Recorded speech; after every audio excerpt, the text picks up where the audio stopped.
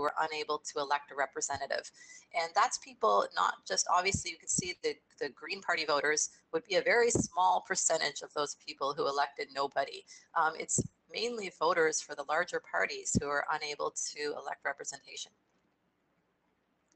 which might seem sort of normal um, growing up in a first past the post system, except that that's not how most of our peers work.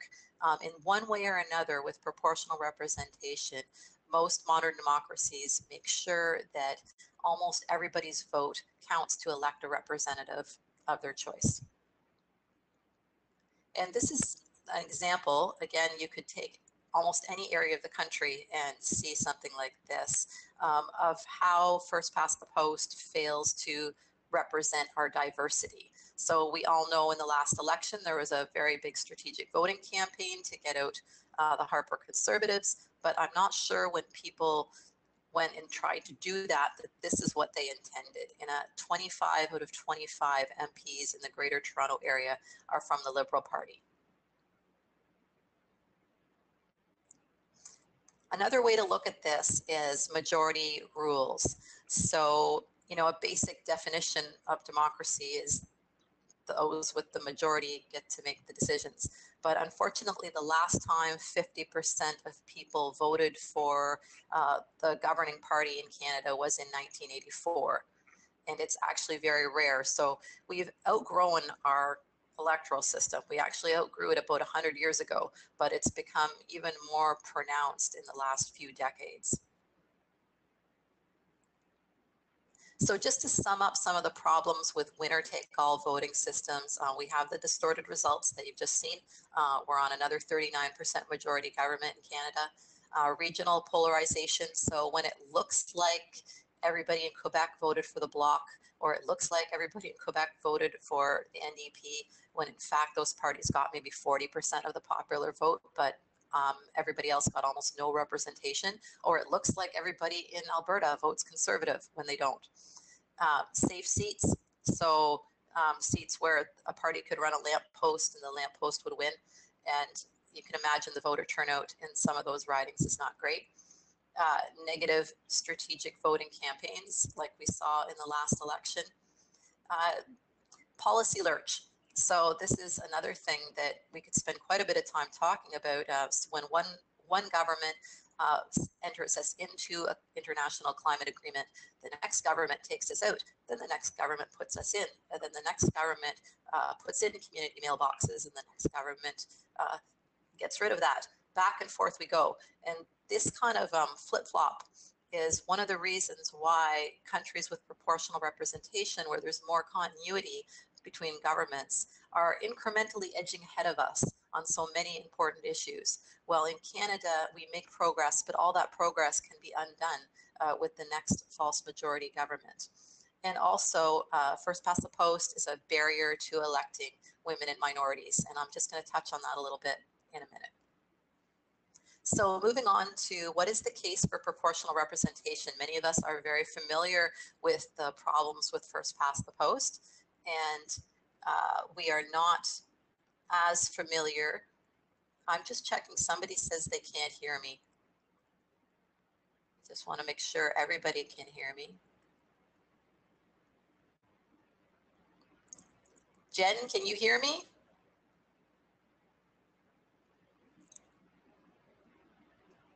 Okay, okay.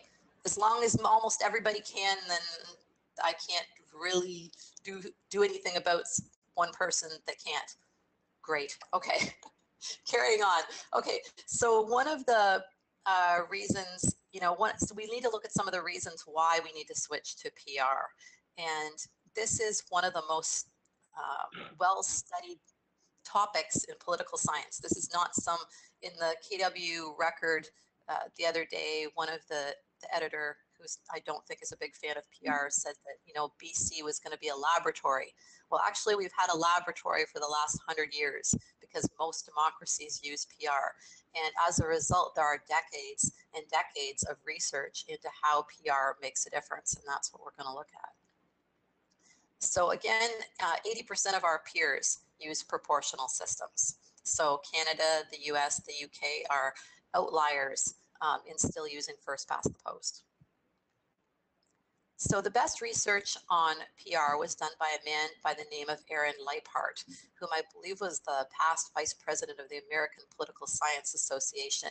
And he didn't just write one book, he spent his entire career, um, and he testified to the ERRE committee, looking at exactly this question. What is the difference between what he called majoritarian democracies and what he called consensual democracies, uh, which in effect means to use a winner take all system or a proportional system. And he looked at 36 countries over two 25 year periods. And there are about 15 or 16 conclusions um, that he reached through his research in the book. And these are just what you're looking at on the screen, higher voter turnout, um, people happier with the policies that were produced, more women elected, are just a few of the conclusions that he came to because proportional systems outperform the winner take all systems on average on almost every measure he looked at. And a couple of the more important ones uh, would be income inequality. So about three or four researchers now have duplicated this result that the more proportional the system, the lower the income inequality.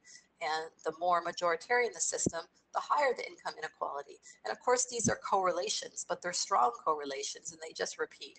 So, you know, one of the theories behind that is that PR uh, allows people, gives people more power to help shape the government and help, um, you know, influence the government to put in policies that reduce inequality and work well for people. And again, environment is another important one where the research is very clear. Numerous researchers have duplicated that countries that use proportional systems on average uh, are doing better on environment. They were quicker to sign on to international agreements. Um, they are better able to control their carbon emissions. They're quicker to switch to renewable energy. And countries with PR elect more women. And this is a rather complicated topic, but it's indisputable that uh, on average, 8% more women are elected in countries with PR. Now, that doesn't mean every country with PR elects more women. It just means on average, when you look over decades at many countries, and that's because with PR, voters have more choice. So instead of just running one person on the ballot in a single member riding, parties must run two, three, or a list and as soon as that kind of incentive kicks in, then right away people are offered more diverse choice, and you'll often, as as long as the culture of the country is ready for it, you'll often see that reflected in the legislature. So this isn't this ERRE committee isn't our first go around. Uh, they're not all on here, but we've actually had 14 commission studies, or assemblies in Canada. And uh, the first time the Liberal Party of Canada adopted PR as part of their policy uh, was in 1919. So we're heading for the 100th anniversary, actually, of the first all-party committee to study this. So it's something to keep in mind when um, MPs say that this is a new idea that needs more study. And another thing we're hearing quite a lot lately is that there are more important issues than electoral reform. And I, when you look at it from the point of view of mechanics and how many people are really excited about talking about quotas and transfers, of course, there are more important issues than electoral reform. But there really are no more important issues than electoral reform because electoral reform affects decisions on every single major issue that we care about. It it determines whether a genuine majority is making those decisions. It determines who has a say, who has a voice at the table. So in another way, there, there are no more important issues than this one. So I'm going to look a little bit now very briefly at the voting systems that are used in New Zealand and Ireland.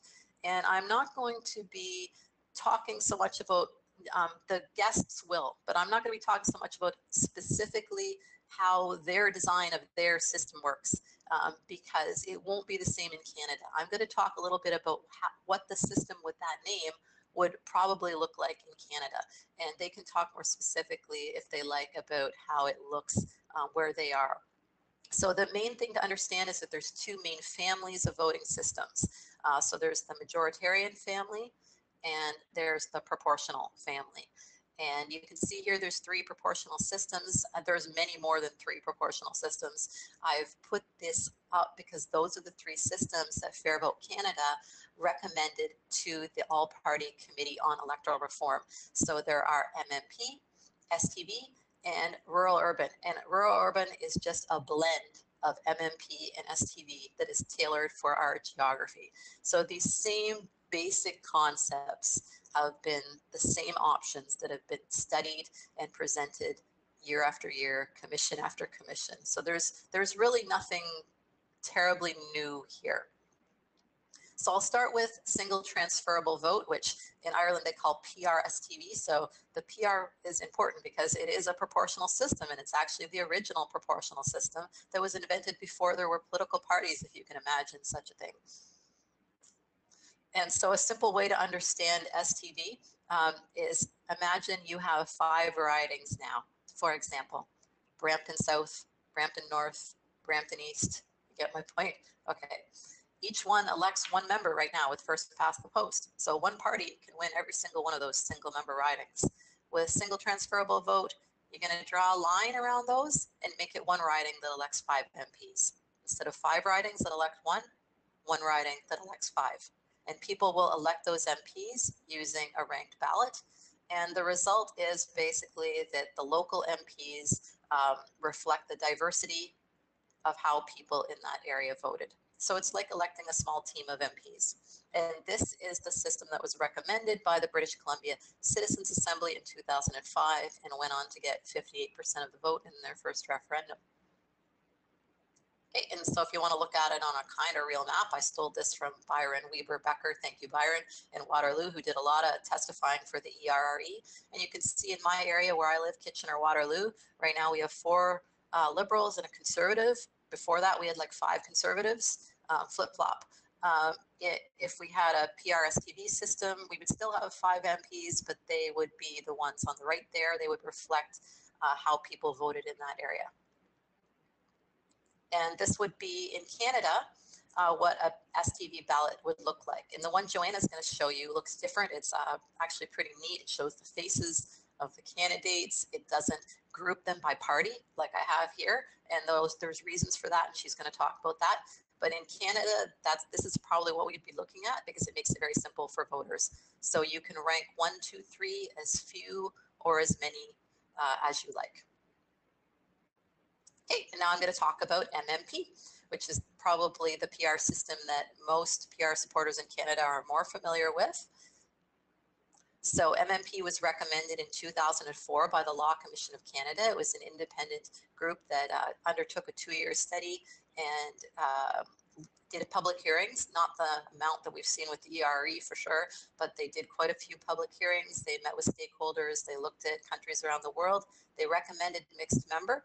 Mixed member means that you will, about two thirds of the ridings, a little bit less, uh, you will still elect the MP with first past the post or a ranked ballot, doesn't matter. It's a winner take all single member election. Um, but the other MPs will be elected from a regional party list. And this is an open list, which means you'll get to vote for candidates on that party's list. If they don't win enough local seats in an area, they will elect regional MPs from their list until the entire result in that region overall is fair. So I don't really have a Smarties for MMP, but um, again, thanks to Byron, we have a little uh, map here of part of Ontario. And you can see on the left is what we have now, the single member ridings. And on the right, what happens with MMP is each riding gets significantly bigger, uh, about 66% in some of the models. So some ridings will be merged to make bigger single member ridings. And then on the right, you can see that we will also elect regional MPs to make the overall results in that region fair. And this is what an MMP ballot would look like in Canada if this was a regional open list system with fairly small regions. Okay, so smaller than the regions I just showed you on that map. So each region electing maybe about eight MPs, five first past the post, three list. Um, so you would vote first past the post on the top, just like now, and then you would choose one candidate from one party on that regional list you're looking at at the bottom. And that counts as a vote for that person, but more importantly, as a vote for that party to determine how many seats in the region they are entitled to. So the important thing to remember about these systems, MMP and STV, uh, mixed member proportional single transferable vote, is not the specific mechanics and design, but what they produce. And what they produce are stable cooperative governments. So in Canada, the goal is the gold ring of the single party false majority government. That's what all the parties are striving for, and that's what we've been led to believe is the ideal way to govern. It's stable. Um, but in most other countries, our peers, they actually are governed by cooperative arrangements. So you can see majority coalition governments are the most common, um, but almost all the others are also formal agreements between parties. And what this means is that in proportional countries, they're not running back to the polls every year, like you may have heard. Their governments last just as long as our governments because the parties have, have these agreements and they have an incentive to work together. Okay, so I'm just going to take a minute and talk about Ireland. So Ireland uses uh, PRSTV. And right now, Ireland, and I've been working on saying these names, uh, so right now, Ireland has a minority government. And the interesting thing about that is it's the first minority government they've had since 1989. They usually have majority coalition governments, just like I showed you in that last slide. Um, however, they had a rather unusual election in 2016 where they have two main parties and neither of the big parties got enough of the vote to form a majority coalition. So now they have a minority government um, with the support of nine independent MPs and a supply and confidence agreement with the other main party. So interesting how the parties can get creative, eh? Our special guest today, Joanna, was uh, is a, was a Labour Party TD, and she was in this coalition government that you see up on the slide there. And so the Labour Party is the a smaller left-wing party uh, in Ireland, and they were the coalition partner with the larger party, Fine Gael and you can see they got about uh, they got about 20% of the vote. But instead of being relegated to the opposition for four years, they were part of a coalition government. And as a result of being part of that government, they were able to get 62% of their promises fulfilled, which to me is, is kind of amazing. Um, and such a, if you can imagine how that would translate in Canada and what a difference that would make in policy. And this is a picture I found from Ireland, and uh, Joanna may speak a little bit more about this because it was just fascinating. So about uh, 2002, there was, a, it looked like they were headed for a single party majority government with PR, which is possible. If one party gets 50% of the vote, they get to govern. And this, instead of saying, yay, that's a good thing, um, the progressive Democrats ran a campaign saying, one party government, no thanks. They said that's unaccountable and partnership works. And voters responded to that message and they did not elect a single party majority government. Okay, so I'm just going to talk about New Zealand, last couple slides here. So New Zealand right now has a minority government that has a confidence and supply agreement with three other parties. So unlike most PR democracies where they are majority coalitions, since New Zealand switched to MMP from first past the post in 1996, minority governments with uh, formal agreements have been the norm in New Zealand. They have not gone the coalition route. Um, so yeah, so they have eight parties. So that's another thing I wanted to point out. Both of these countries that we're talking about have eight parties. So when we say that PR may lead, moderate PR may lead to a small increase in the number of parties, that's what you're seeing here. So in 2011, to remind you, in Canada, we had six parties sitting in the legislature and a couple of independents. So Ireland, New Zealand have eight. It's not a huge explosion of parties. And the right wing, the National Party in New Zealand, who is the government, and they're coming up on another election, um, is a center right right party. So, and they have served three terms now. So, if anybody says that PR um, can't work for the right, uh, that's that's not true. It just reflects back what voters are saying. And here's my picture for you from New Zealand. You may have seen this before. A friend of mine on the board who now lives in New Zealand sent this to me. This is a bus stop advertisement in their last election. And it says, Your vote is worth exactly the same as mine. And that's a powerful thing.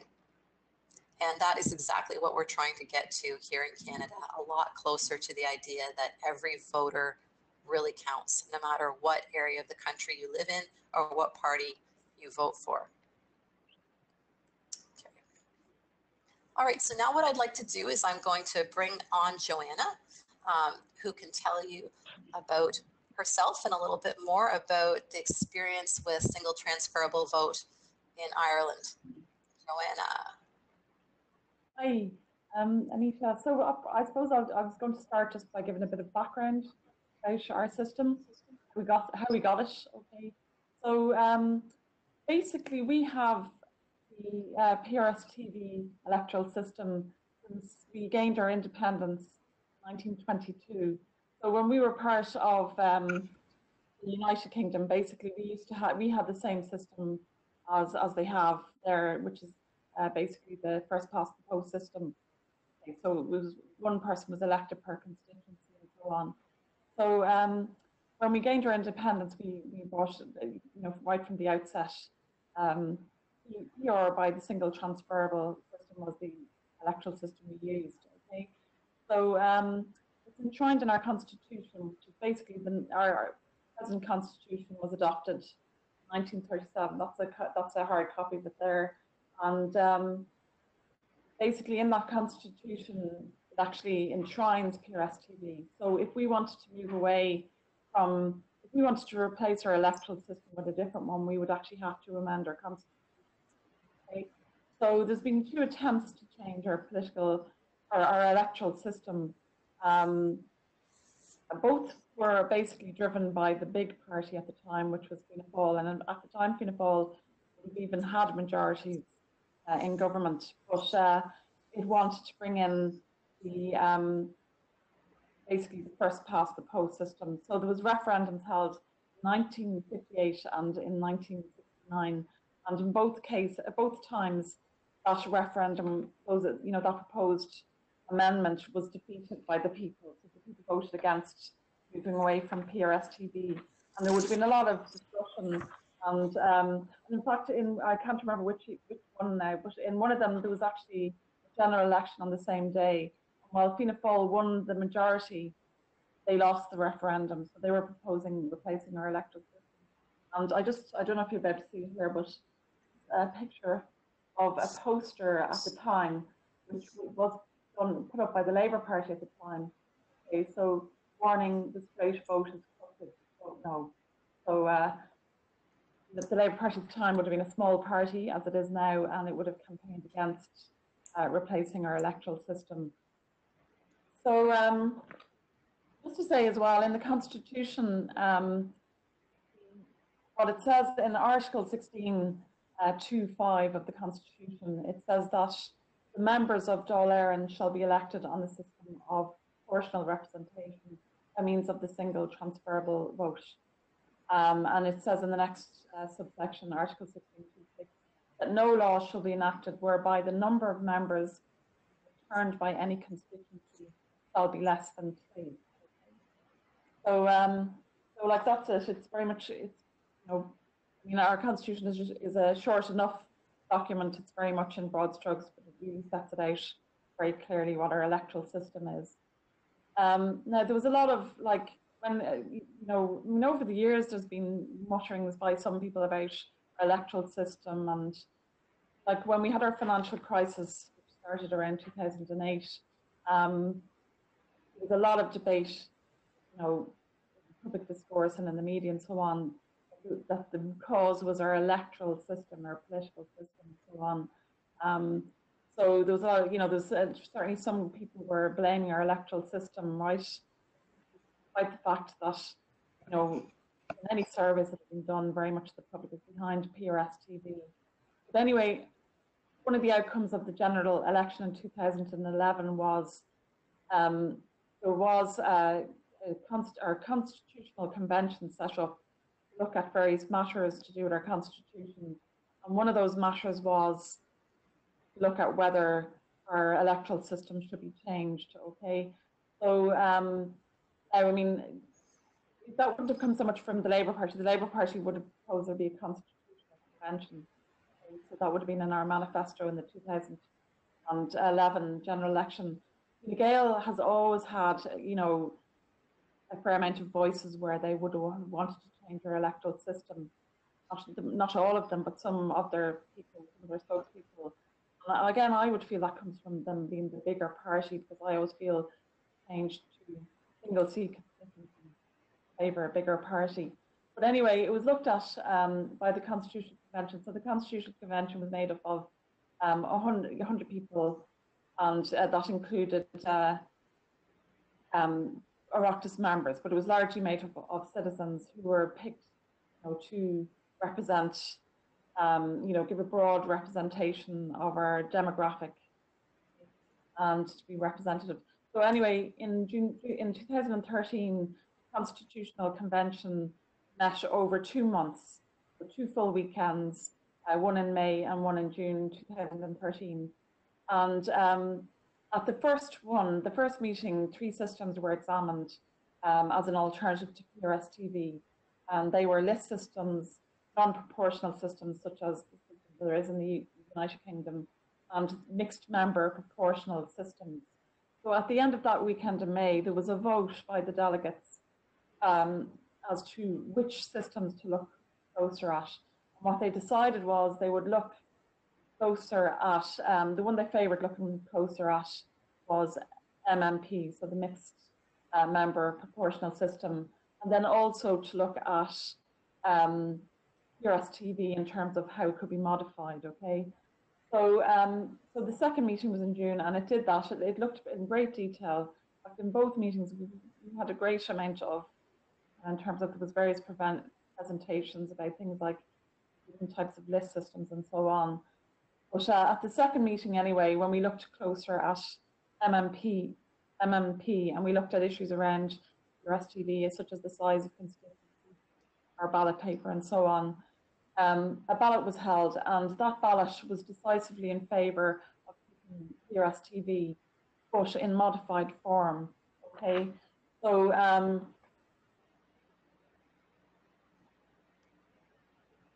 uh, just in relation to that, like the modified form was basically, I, I just I'm just going to quote here from the chair, from Arnold, just mention when it finished its deliberations had to report to the government and to the and to the Oireachtas. Okay, so it had. It's basically the fourth report of the Constitutional Convention uh, was on the issue of the electoral system. So in the introduction to that, uh, the chair Tom, Tom Arnold basically says that at the conclusion of the plenary meeting in June, the result of the ballot was decisively in favour of keeping the current TV electoral system, but in modified form, particularly by increasing the size of changing from the alphabetical order of candidates on the ballot paper. Okay. So that's that's where we're at now. So like, I mean, you, you know, I don't, there hasn't been any, I mean, there hasn't been as much, I think that put the whole issue to bed in Ireland about changing our electoral system, at least for the time being anyway. So, um, just to conclude, I had uh, just a ballot, like just to say that the um, is used in all of our electoral systems for all of our elections. So in our local elections um, and our presidential election, it's also used. Okay, so this is just um, the right way up. Yeah. Um, this is a sample ballot paper. It's from the Department of Environment and Local Government website. So if you go online and look up, uh, just Google in sample ballot paper from 2016 general election, we'll come to this hopefully and I've just printed it out. So basically, the, the names of ballots, it's only in recent years or recent elections before it was introduced that we have photos of candidates, but before that, would have been the name and the address of the candidate and set out in alphabetical order.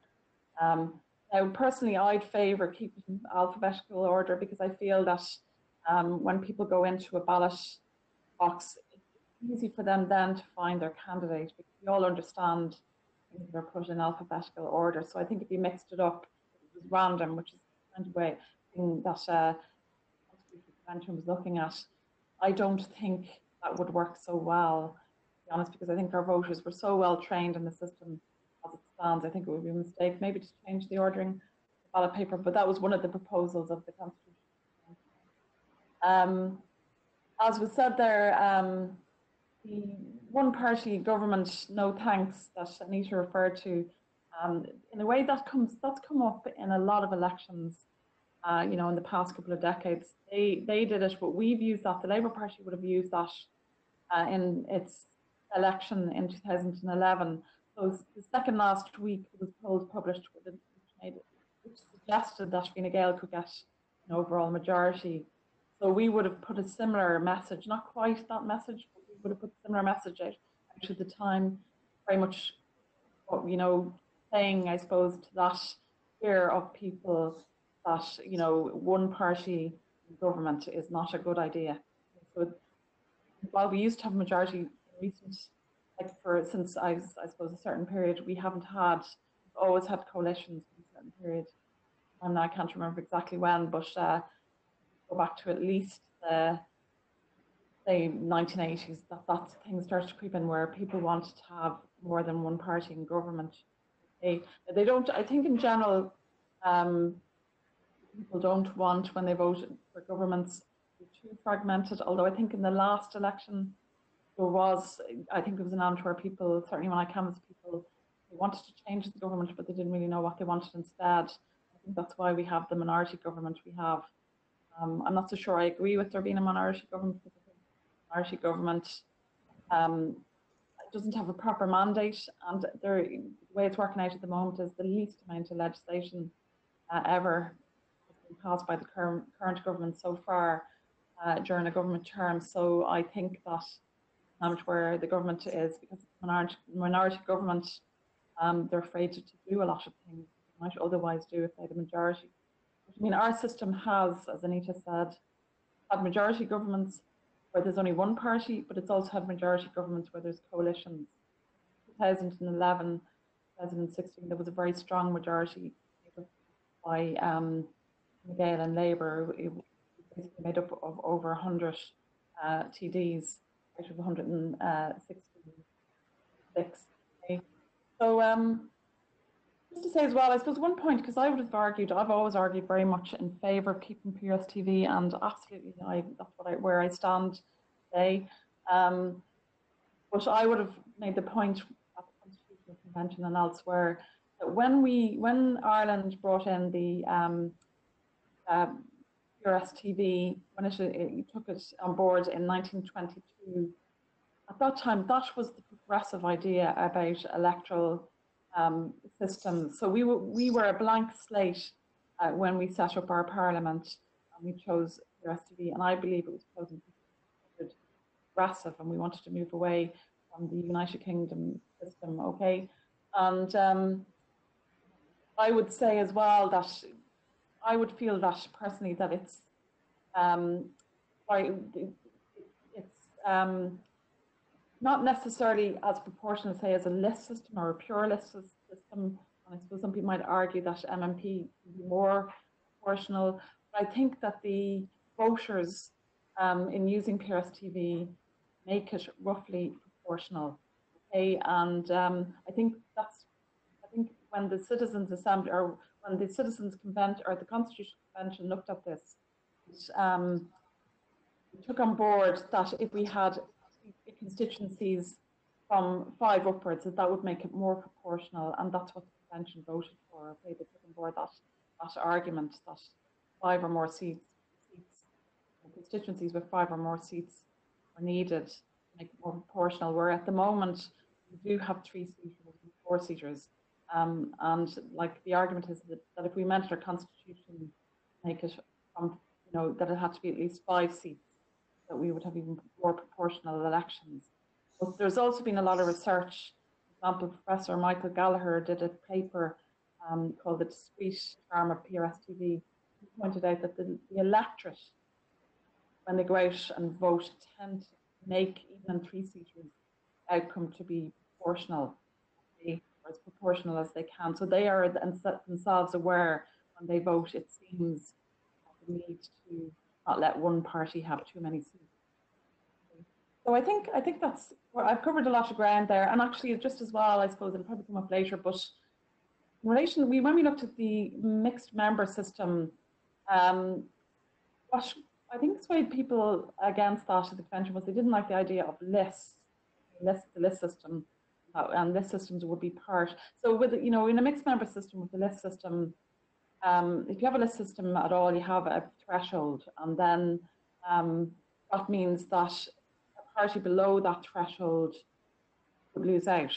Whereas in our system of PRSTV, smaller parties, you know, you can be very small or independent and you can get elected. Okay? And um, the other thing is, I remember at the time, I, re I, read around the time when we were looking at change, you know, when there was a debate in Ireland about our electoral system, I remember looking up um, about, uh, you know, what arguments there were against mixed member systems. And for example, in what in Wales, there has been a couple of commissions and reports which have recommended moving away from MMP to the um, PRSTV. And one, when voters were surveyed in Wales, they looked at the list system seats as kind of compensation seats, and they looked at the as uh, the people elected from constituencies as the real um, parliamentary, you know, real parliamentary representatives.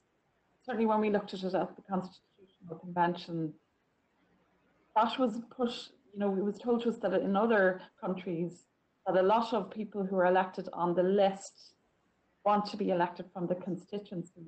So they do a lot of constituency work. So the idea that, you know, if you have a mixed member system, it would have a balance between some people who do constituency work and who won't.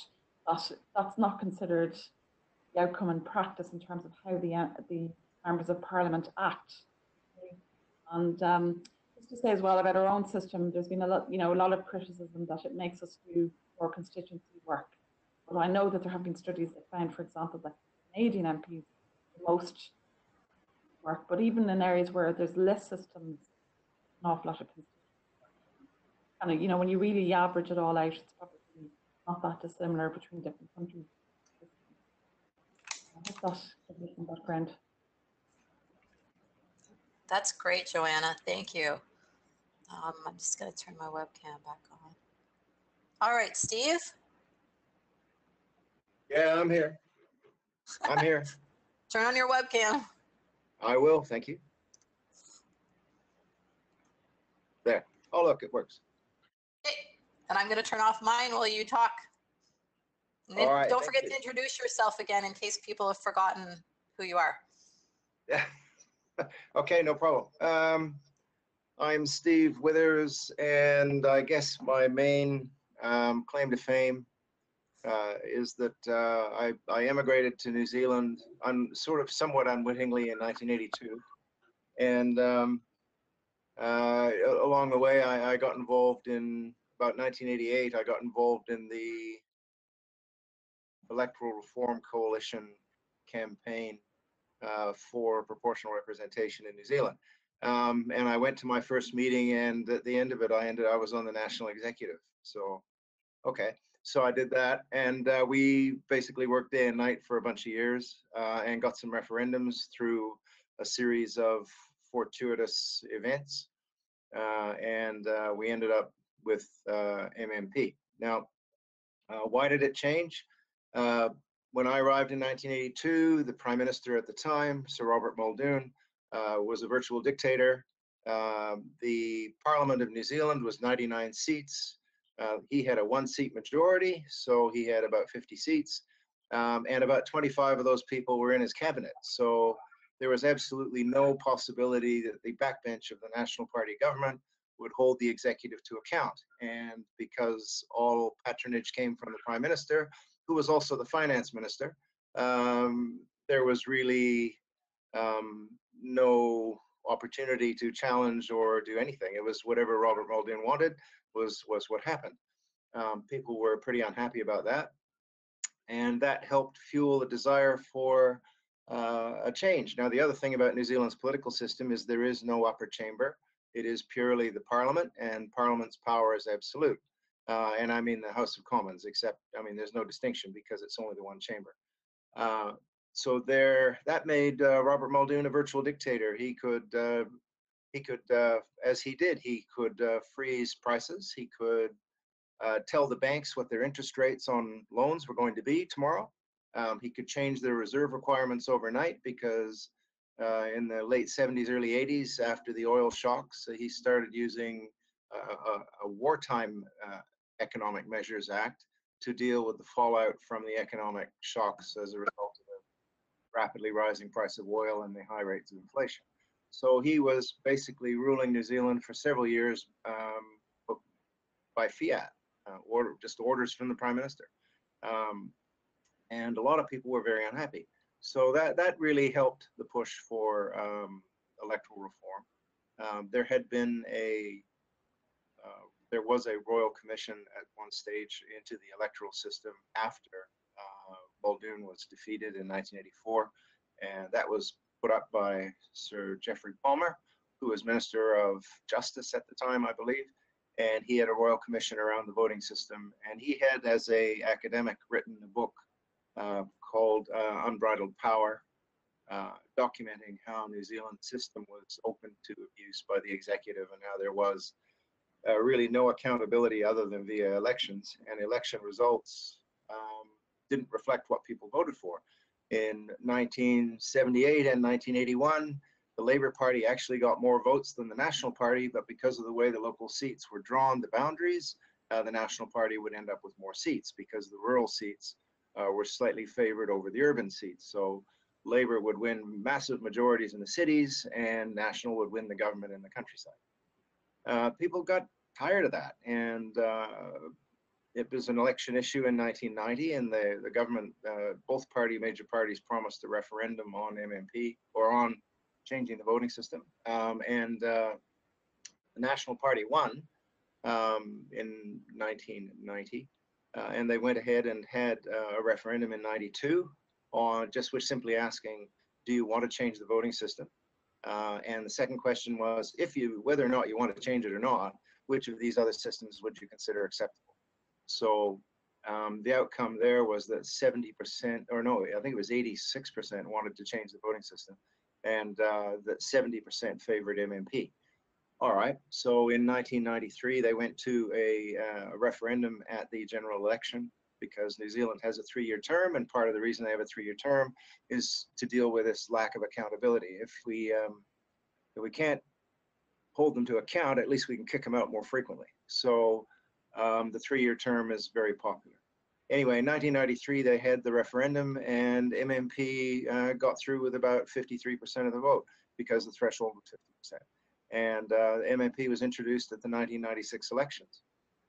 Um, that uh, I won't go blow by blow through a series of elections, but there was a fairly instant change. Uh, there were, in fact, in the interregnum, the period between 93 and 96, parties began to uh, jockey for position in advance of the 96 proportional election, and there were several new parties formed.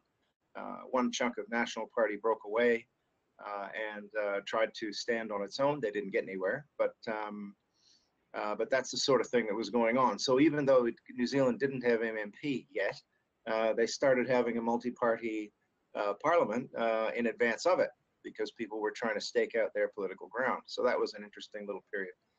Um, but ultimately, we had the first election of MMP, and and um, uh, there was a multi-party multi outcome. The Greens were elected with their 5% threshold.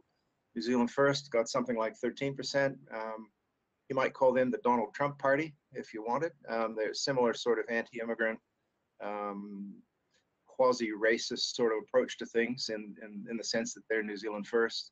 Uh, UKIP, they would uh, identify many of the, um, the UK Independence Party would identify uh, with many of the values there they're not necessarily negative. It's more about how you express them. Um, and uh, and they they became um, they actually went into it took quite a long time to decide. And they went into a coalition with the National Party, uh, which was kind of unfortunate for them because two thirds of the New Zealand part New Zealand First voters had actually been Labour voters who had gone over to vote for them. Um, so instantly, New Zealand First uh, support went from 13% to 4% in the polls and stayed there for quite a long time. And at the next election, the only reason they stayed in was because Winston Peters won his electoral seat. Now, that introduces the idea of how does New Zealand's MMP work? There are 120 seats formally, although there's frequently an overhang. uh, with, uh, and currently there's 121. Um, 120 s- seats. Initially, 60% were local, 60 seats were local and 60 were list. Uh, and, uh, but as time has gone on, more local seats have been allocated and they have come out of the list seats. So now it's closer to 70 50. Um, I don't know the exact numbers. I tried to find them out, and uh, the only way to do that would have been to actually sit there and count the list of electorates. And I was busy painting my house, so I didn't have time. Um, but the the idea there is that uh, of the 120 seats, uh, the threshold is you either get 5% to get elected, uh, or you win one local seat. And if you win one local seat, you're entitled to your party's percentage of share of the vote, even if it's not 5%.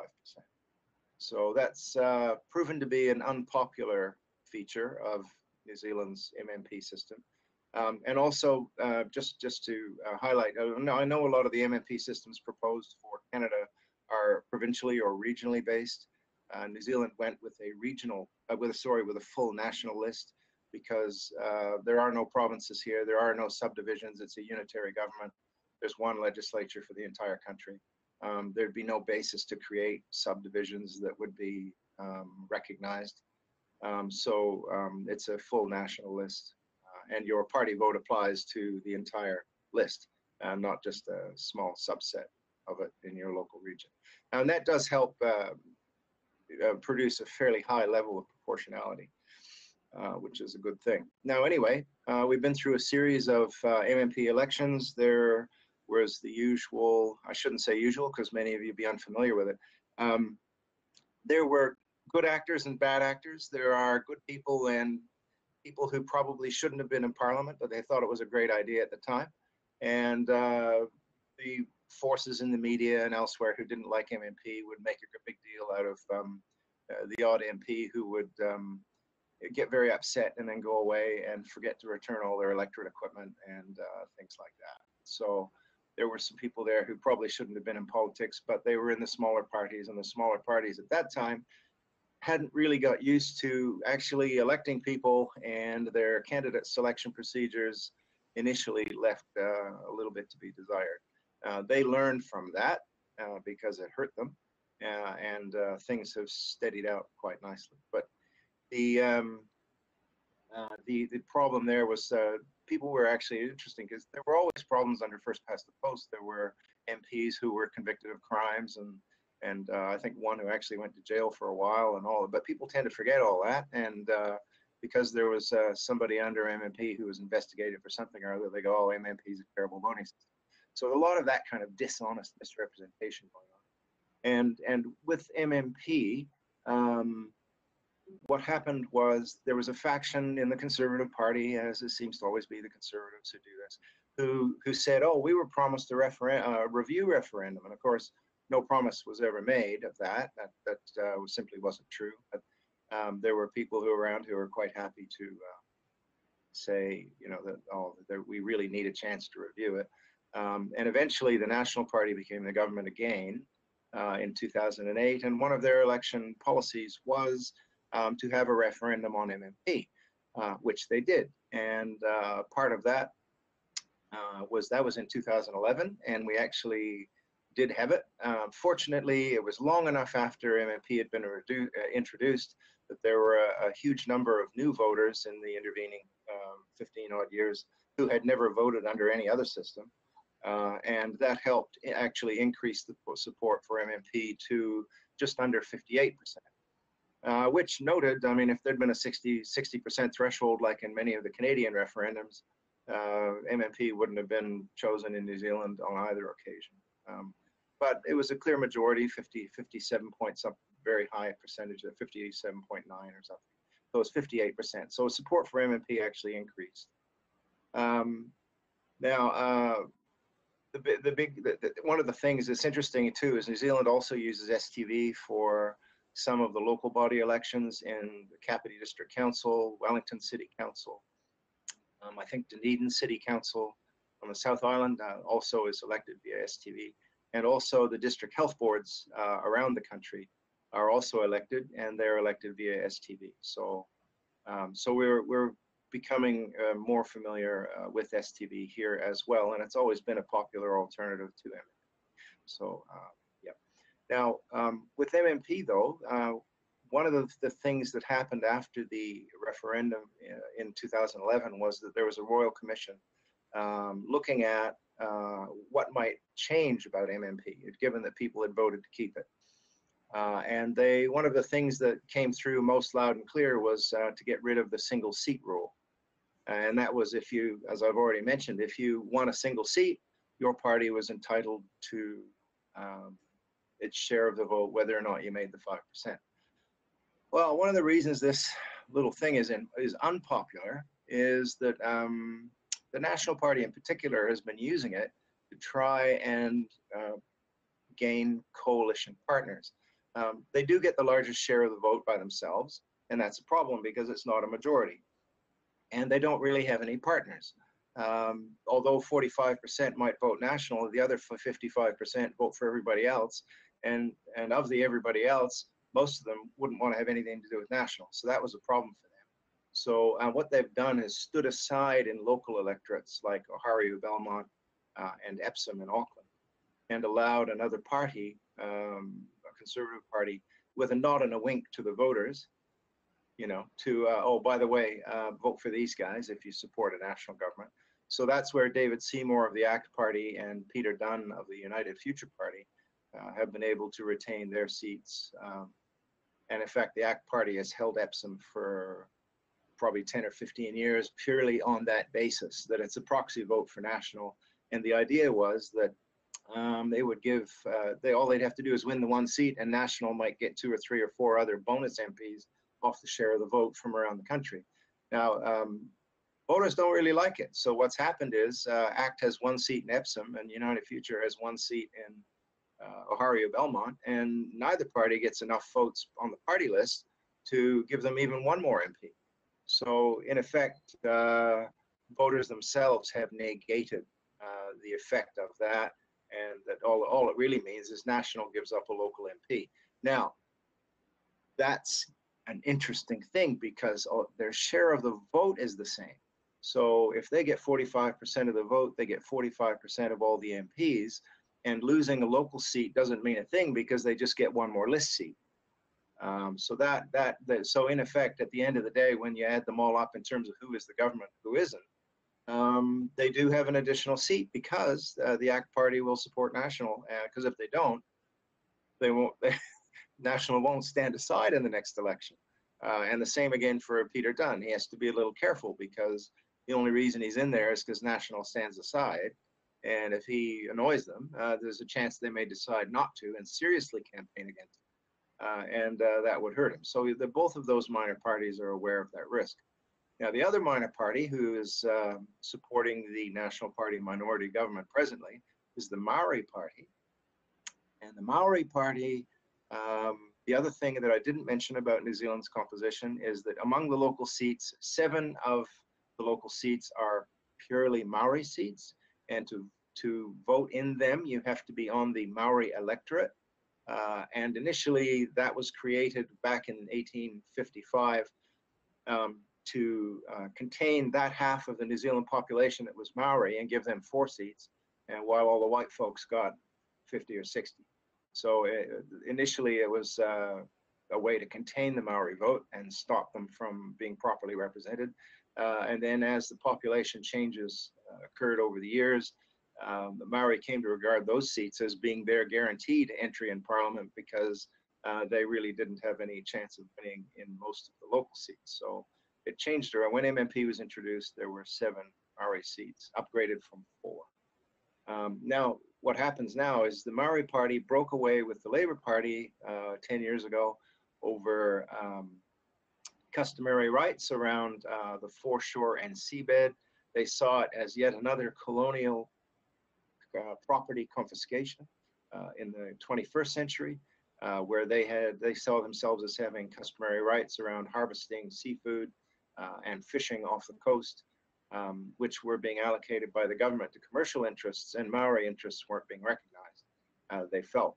And so they, uh, a bunch of Labour MPs, well, one in particular, Tariana Turia, uh, walked away from the Labour Party. She had been a minister uh, and founded the Maori Party along with some other people. And initially, they did very well. They won, I think, um, five of the seven Maori seats initially, uh, and um, they uh, were strong critics of labor. Now, when National came in, uh, the Maori Party had a axe to grind with labor, and so they supported National and have continued to support National.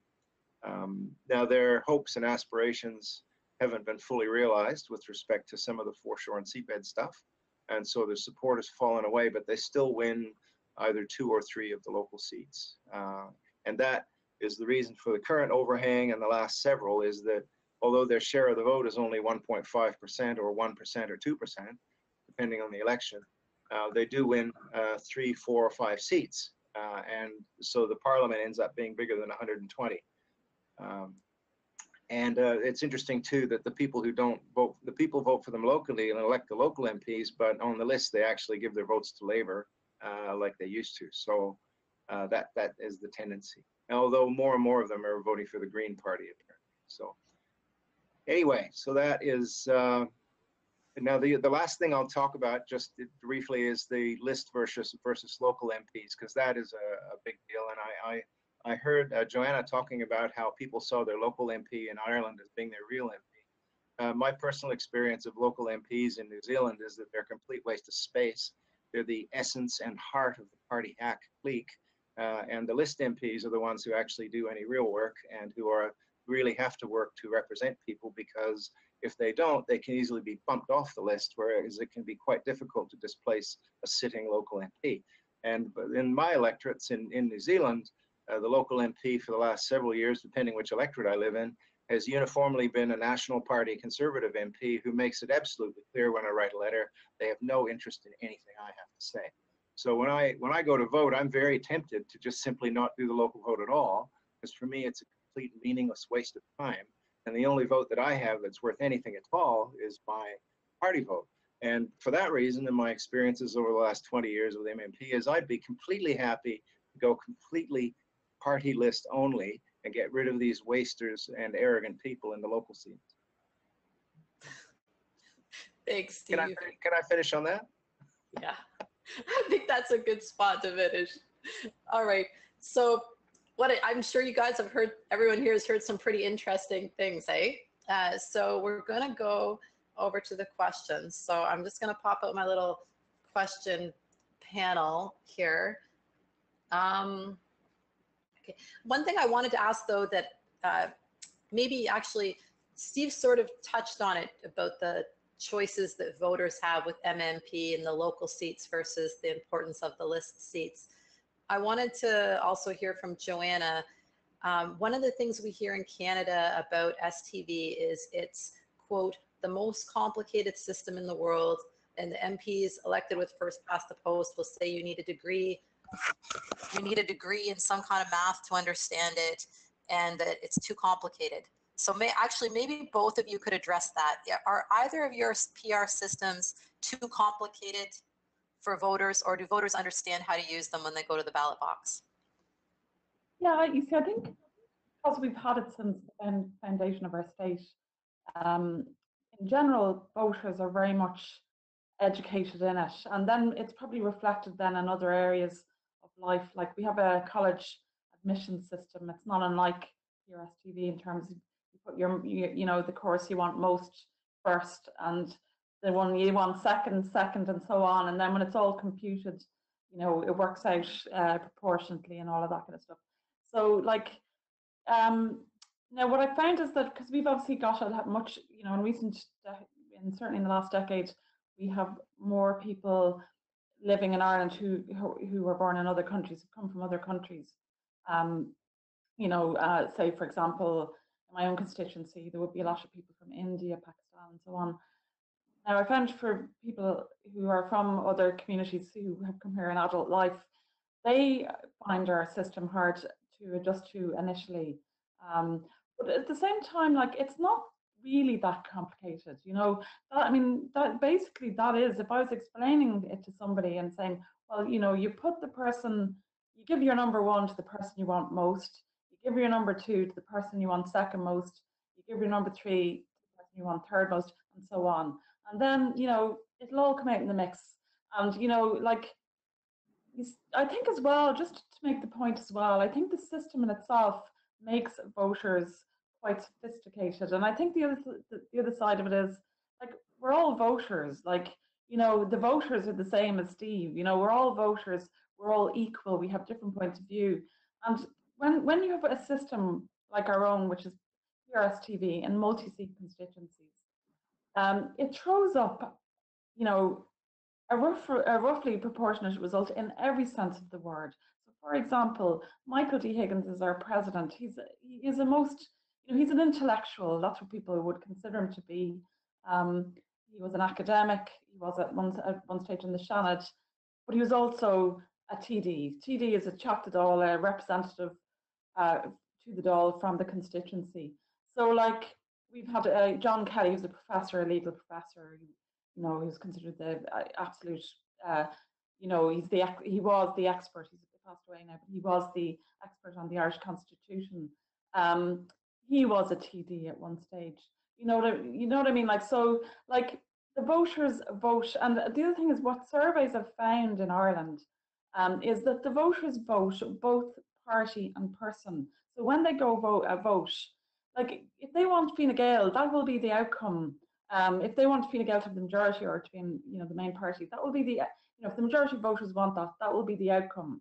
So they both vote on the one hand for the person and the, uh, you know, there could be local issues, but at the same time, they're also going into the ballot box wanting a particular government. So they do all of those things when they cast their vote. Okay. Um, so like I just I feel that um, and I suppose the other point just as well, PR STV in, in multi-seat constituencies is not a million miles away from um, a list system. Okay, when when you if you if you certainly what was presented to us by political scientists um, at our constitutional convention and what I've learned from experience because when I was a TD I would have gone and met you know, members of parliament from other countries, like for example, Finland, right? In Finland, they didn't meet on a Monday because they to do their constituency work. These were people who were elected on lists. You know what I mean? If you had a closed list, like in Israel, you know, you might you have that total remove from local life and daily matters and all of that kind of stuff. But like I think when even when it comes to a list system, um, if it's an open list system, people will revert to the fact that they're, you know, they're human beings voting for other human beings, you know, and and you know they live in a locality, and it's how the a particular issue, a national issue, affects them and their locality. So I definitely would disagree with Steve on that point. Um, and I think you see our system probably deals with that because all types of people are elected to our parliament. From and I mean, Nye Bevan was elected in Britain. He was. I always point this out to people when people say we should have experts in parliament. He established the British Health Service, then the National Health Service he left school at 13 and was a miner. He had an idea about, you know, a national public health system that would be free. So, like, you know, um, you don't have to be obviously have, you know, you don't have to have qualifications obviously to be a very good representative, you know, or a minister. But like, I think PR STV will produce, you know, lots of different types of members of parliament. That's my view, and that's my, I think that's our experience in Ireland. Thanks. Steve, did you have a comment on whether voters understand MMP? Like, do they understand that the party vote is the one that's the most important vote? Do they vote I- differently on both sides of the uh, ballot like you? What, what people understand is individually tailored, I believe. Um, I, when you, when you, I mean, by that, I, that's just a funny way of saying some people get it and some people don't, like anything. Um, it, it couldn't be more simple. I mean, STV is simple. Uh, you rank the people in order of preference. And, and when we vote district health board, uh, there's 35 people there on the ballot and I got to elect seven of them. So I do my ballot first and the rest of the, the family copies it. Not because they can't count to 35, but because they've got no idea who these people are. And so they they have to sit there and I'm the guy who spends three hours reading the guff, trying to figure out what the values of the individual people are and then rank the ballot for the other three people in my family so they know what they know what to do. And that, I guess that to me that's a weakness. It's not the actual voting that's the problem. It's who the heck do you vote for? And and that that's the real issue. And it presumes a lot of uh, familiarity with your local people. That actually these days when we all watch sports on TV, you don't even know who your neighbors are. You know, so so give, trying to figure out who to vote for is actually probably a bit of a struggle. To me, that's the biggest struggle with STV when you get a lot of people on the ballot. Now, the but MMP, it's simpler in that regard. Uh, there's a list of parties on the one side and a list of people on the other for the local electorate. You pick the one party you want, you pick the one person you want, and it's basically first past the post. And the way those first past the post votes get allocated is presidential style first past the politics, first past the post politics, just like in Canada now. Oh, I like, you know, I like Justin. I'll vote for that guy. And or I like, uh, you know, I like uh, Stephen Harper. I'll vote for her. I'll vote for her. Um, and that, that very much happens in the in the local seats because it still is just first past the post like it always was. And all it all that happens is the list seats and the party vote um, add a bit of reality to what people really do want in terms of the values. And I would make that distinction in terms of when you vote, the party vote is about your values. It's not about the people. It's about what kind of country do I want? What kind of policies do I want? And in that sense, the parties are brands that represent different quantums of uh, of of values and priorities to to individual issues like health and education or neoliberal economics versus a more socialist kind of an orientation so so your your party let your party vote lets you gloss over all the individual permutations that people might have and and vote for the values you support and i think to me um, I get maybe I deal in meta and abstraction more easily than a lot of people. I I don't actually care if I'm voting for Dave, Joe, or Mary. I just want to know that Dave, Joe, or Mary are going to execute the values that I support. And uh, and the parties themselves do go to some considerable lengths to make sure that the candidates do represent geographically, uh, gender-based, and uh, and also in, in, in other ways, uh, ethnic uh, mix as well. So I mean, uh, just so but can people vote? Is it easy to vote? Yeah, one party, one person. And I do know people, and they're very nice people. And I, I do know people who were member of a party that I was a member of who went, Yes, I went and voted for Daisy in the local, but I gave my party vote to somebody else. And they're like, and people were just, Why would you do that? it's so bizarre to think that the electorate secretary in a party would actually completely fail to understand uh, the priority between the two votes. But um, but there are, I mean, that's what I say. People will do any darn thing, and uh, but in, it they make it as easy as possible. Now, for, in STV's defense, voting is easy. The counting's the hard bit, but we don't have to count. So somebody else, there are boffins and experts who do all the counting. We don't need to worry about that. So STV voting is easy enough. Just the only thing I've ever found a struggle was who to vote for. That's great. And just to point out when Steve's saying, you know, that he researches 35 people, you don't need to do that with STV if there's, I, um, you all saw the sample ballot, right? So um, the research in Ireland shows the average person ranks four people. Because really, if the, say you're an NDP voter and the conservatives are running three candidates, do you really care who they are? And you can care who they are and rank them if you want. But um, the ones that really care a lot, like Steve, will sit there and they'll go through every person and they'll fill out their complete ballot, which is great. And some Oh, people I will just add- rank one or two people. That's it. Yeah, Can I, can I just say the, the district Okay. health board stuff, they're, they're not party based. It is thirty-five individuals. And, and Right. and there, there might be a quarter of them who are broadly on a, on a ticket that's informal. So that, I mean, it, it, it is the most difficult uh, uh, version, I suppose, in the sense that it's not party based. But it- that does actually touch back on how important the parties are in terms of getting people to vote. And, and what you've just said, Anita, is there, you don't have to worry about who all the people are as long as you know what party they're in. Oh, bingo. Right. So it's it's a balance, and I think Joanna would say that too. So it's a balance between a system that is like 100% party, like Israel, and a system that is the most candidate system ever, centered system ever, like STV, and then something in the middle, which is like MMP with an open list, right? So it's all just balancing. Just one point, I suppose, there, Anita, is that, you know, it became clear during our constitutional convention that when people were talking about MMP in the, at the convention, they, uh, many of the people thought it would involve multi seats. you know, that the constituency elected representatives would be elected from multi-seats. What one of the things I used to think about that at the time, because I'm not aware of any country that has that type of system. Anywhere you have MMP, it's one person elected from constituency, and then the others are elected either from a local or a national list, as, as is in the case of New Zealand. And I was just wondering, I don't really see. Well, I suppose it's slightly different because what you have is if, if, if, if say New Zealand introduced a multi-seat in the constituencies, it would have basically two lists. It would have a local list and a national list. Okay, so I suppose you could argue, you know, for that reason. And I suppose because you haven't got an upper house, maybe, you know, there would be a view that that's a good thing, you know.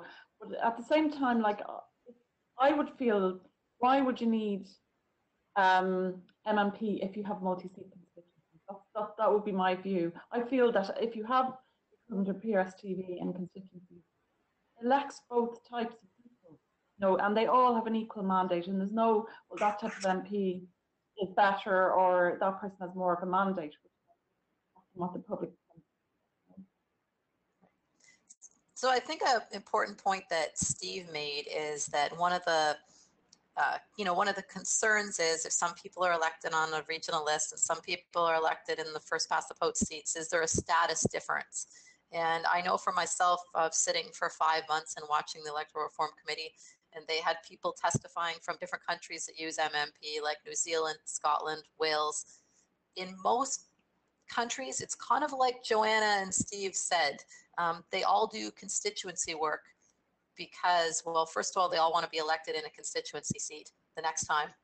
And second of all, they all, like Steve has said before, they all live somewhere. so, you know, it's it's in their interest to connect with local people who will want to vote for them, whether that's in a local seat or on a list seat. So with either system, there's in Canada, there's going to be a strong constituency link with all the MPs. We're not going to lose that. Um, okay, I want to just, I'm just going to open up my little, undock my little question pane here. Okay. Um,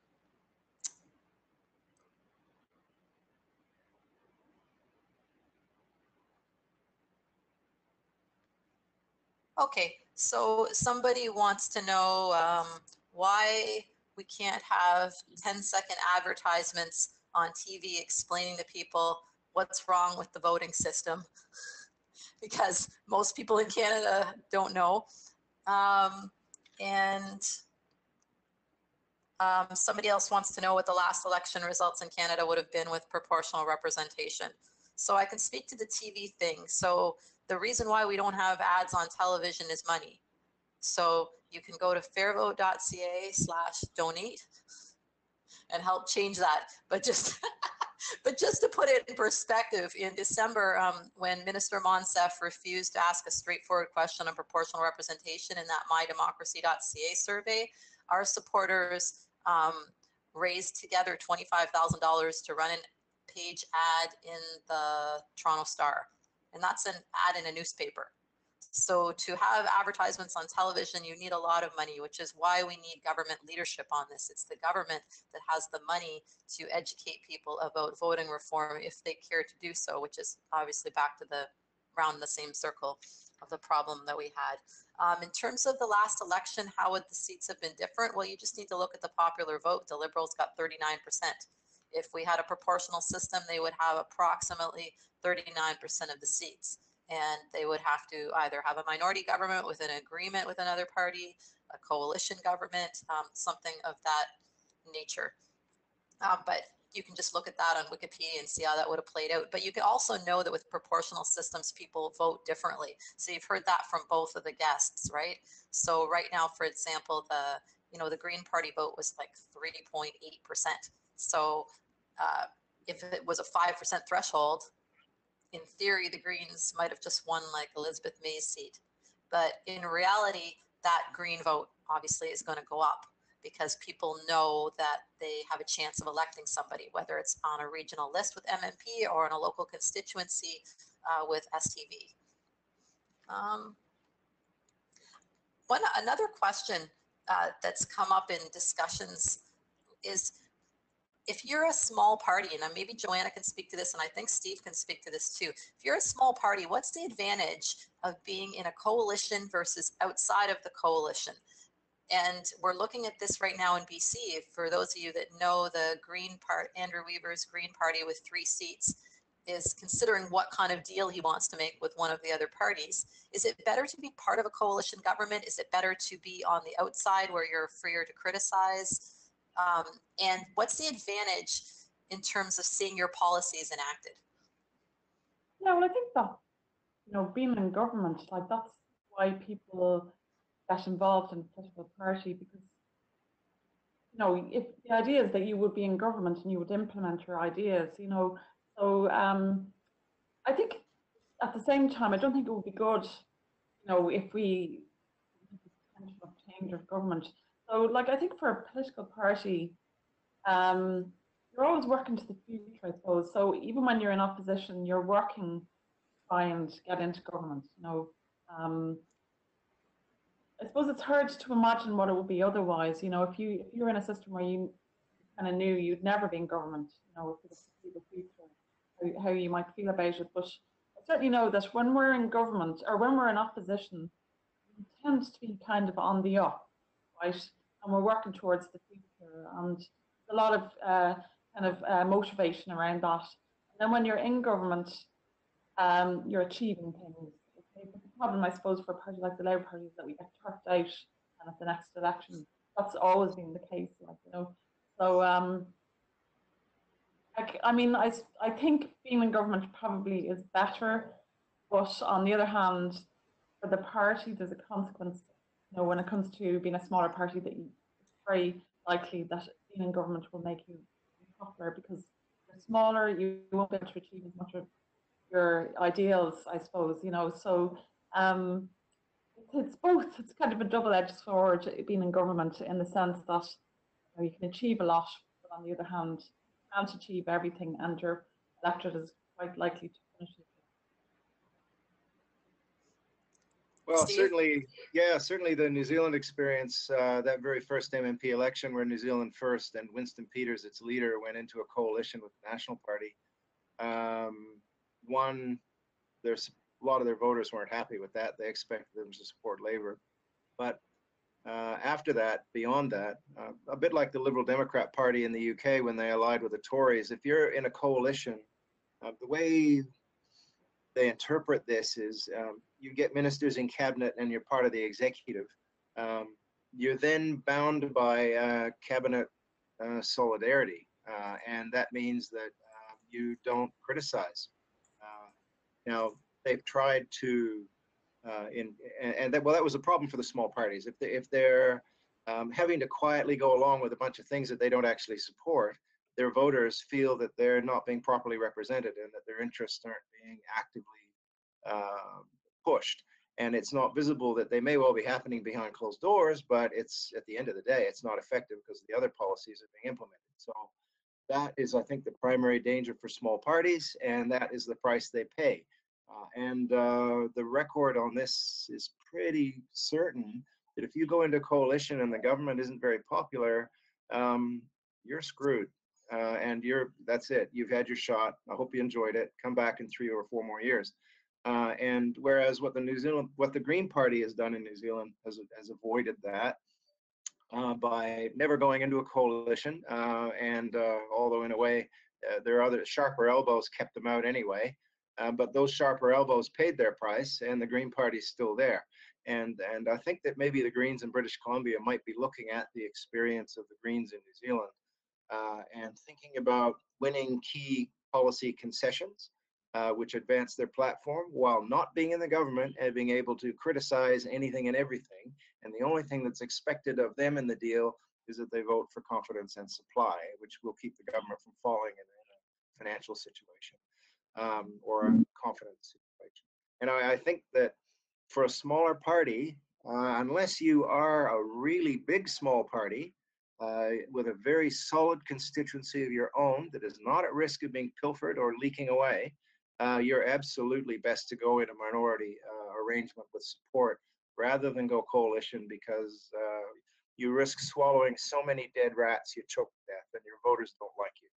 And I, I that would be my observation on that. And I fully expect that after the next election here in September, September 23rd, if the Greens do go into coalition, it will be because uh, with Labor, it will be because the Green support has been steadily growing over the last 20 years, and it's now in the mid-teens, and that it's proven to be quite reliable over time, and the, their Green voters are tolerant of ups and downs. And uh, I would think that if they did go into coalition, they'd be making the calculation that the Greens have their own natural constituency now, and it is not significantly at risk, or at least totally at risk anyway. They'll always get the 5%.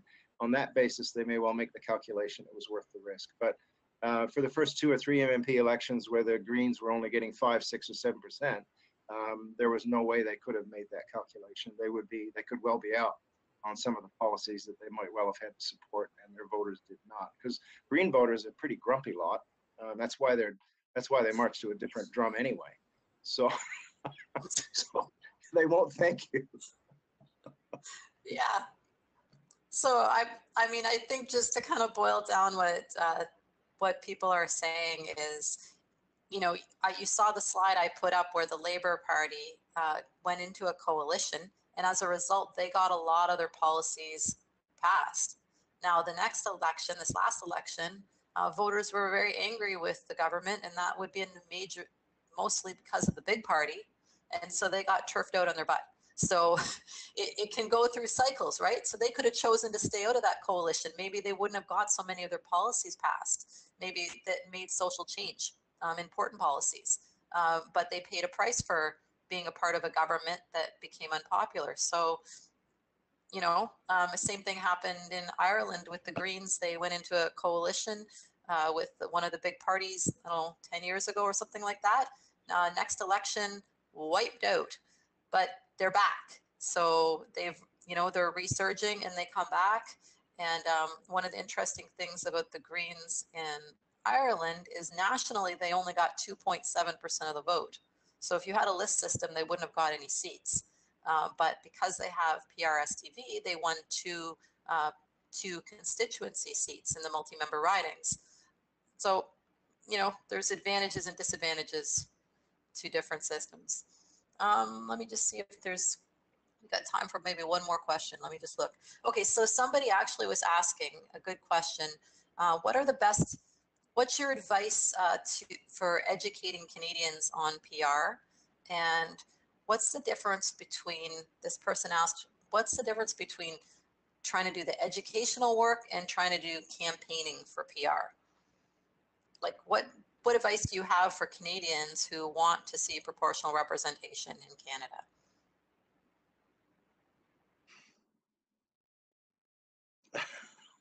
I know. Keep keep doing what you're doing. I mean, you're doing you're doing a great job. It's just uh, getting the message out there, and uh, I guess I mean from on uh, being from Ontario originally, I, I know that um, it can be very hard to get people's attention, and especially about anything that's different. Um, and especially if you're outside Toronto. I do remember when I worked on the MMP referendum in Ontario in 2007. Um, it was easy to get the message across in Toronto and Owen Sound, and the rest of Ontario was kind of a dead flat space. And there were entire ridings where we had absolutely not even a committee, because although there might have been 50 or 60,000 people in the riding, there wasn't a single individual who was sufficiently aware and motivated to do anything. Um, and that, I think, is the challenge you face across a lot lot of Canada is that a lot of years of media, the media loves to promote itself by bashing politicians, and that has created an atmosphere where politics is negative and bad, and anyone who engages in it is probably somehow vaguely disturbed. Uh, and uh, and that makes it very very hard to talk about anything political with Canadians because they've been inoculated against politics uh, to a considerable extent. And I've got people in my own family in Canada if, if the topic, anything remotely political comes up, they'll be quite pointed and rude with you and tell you we don't talk about that. And, and that is a real, that's a Canadian social thing. And, and that, I don't know how you get over that. Um, um, maybe they all have to die first. It might take that long. I don't know. But, but uh, that, really, you, you, the key is just that, that thing about how do you message to people who don't want to be messaged to? And I don't know that everyone's cracked that nut yet. We're still working on it. I, I mean, I agree with Steve because it's, it's actually similar here. I think there's a lot of that going on here. And uh, I mean, I think the media plays a big role in it as well. Like, I mean, you were saying about when um, small parties in a coalition government, how they have to, um, you know, they have to keep cabinet uh, solidarity and confidentiality.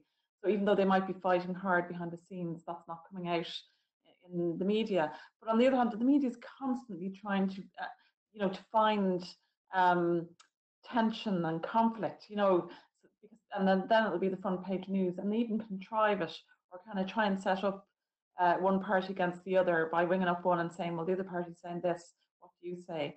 So, like, the, the media plays a big role, I think, in kind of, I feel, in making uh, the public quite uh, cynical about politics. Um, but that being said, I think, I think I would say that, you know, I would say that the way things are progressing in general probably is towards more democratic systems. And um, certainly, I, I remember it being said at the constitutional convention we had here, here in Ireland that the move generally was to systems more like basically more proportional um, systems, you know, with multi-seat constituencies and so on. So I think it's just a matter of, you know, keeping moving in that direction, keeping uh, publicising it, and I think educating young people, I think, about it, um, you know, would be important as well. Um, um, so somebody is asking an opinion about referendums and whether they are the best way to go uh, for choosing whether or not to adopt proportional representation. So I think it's a little, the Canadian context, I mean, we've had five referendums here now, and we won two of them, and we still don't have PR.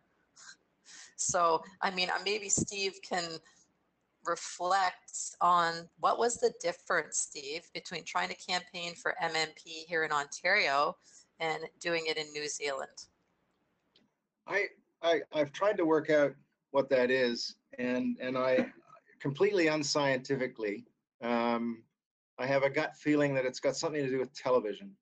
Uh, when we were when we were campaigning uh, for MMP in New Zealand, um, television here was not quite 20 years old, and there was still a broad mass of people who grew up in a time when you still had to read and talk to people and uh, be part of local networks and communities and know who your neighbors were and and and that kind of thing. That that's those social engines still largely work. Um, canada has had television since the 1950s or the early 60s and i found in ontario uh, my own mother. I could tell her something and uh, if anderson cooper didn't say it on cnn then it's not true. And it wouldn't matter that i said it you know and and i think a lot of people they don't realize that that's actually how they're consuming their information. Um, they have what they see as um, authorities uh, and the authorities tend to be media voices um, and uh, they will disregard uh, information presented by their own families and friends sometimes in favor of these authorities. So um, when it comes to referendums uh, they were a useful tool in New Zealand in the um, early 90s. Uh, and uh, and I, I, I, was strongly in favor of certain referendums. Uh, but one of the things that was also introduced here, which we haven't talked about, was a citizens initiated referenda policy. Um, they're non-binding. And so far, most of the issues have been completely asinine. Uh, and and I and and and they all pass with a thumping majority, and governments uh, dismiss them and ignore them because the vast majority of them are just an expression of bigotry by a lot of people. Uh, or lack of thought, or, or, or, it's, a, it's a failure of another IQ test by the New Zealand population. So my, my evolution on referenda has become, uh, I've gone to the point where I don't want to borrow the things, um, unless unless it's something that is so benign that no one's going to get hurt. And uh, unfortunately, a lot of referenda are by people with agendas that do hurt people. So in terms of what's going on in Canada, the failure of the tool, the setting of that threshold at 60%. Otherwise, I mean, a government can run the place with 39%, but we need 60% to change the voting system. I mean, that just was bizarre to me from the start. And it's proven to be utterly bizarre as time's gone on because, uh, as you say, uh, British Columbia had 57%, as much support for MMP in the second referendum here, uh, and yet they still couldn't get STV. And uh, that, I mean, to me, that's uh, that's terrible. It's a disgrace. So I can understand absolutely people saying, let's not have referenda because all that happens is the big money interests um, buy the result and uh, and what people actually want and, and whether or not people informed is very much secondary and it's ineffective. And I, to, be honest, I, I'm, I'm totally on board with that. Yeah, I'm over it. So I wanted to comment a little bit before Joanna puts it in um, context of Ireland is I don't think in Ireland they can change the voting system without a referendum. So they don't have the option that we do to have a process like we've had 14 of now and have politicians take leadership and implement something with a majority vote in the House. I don't think they have that option. It's worth noting that. STV has um, survived two referendums in Ireland already. And like uh, Joanna said, they recently had a citizens assembly where again they chose to keep STV and recommend making improvements on it.